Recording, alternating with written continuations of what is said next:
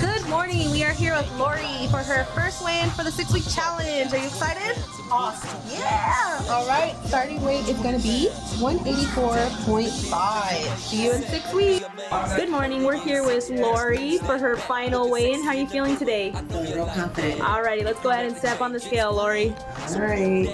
162.3. Yep. You lost 22.2 pounds. Transformation Center. Sign up now and don't be a stranger.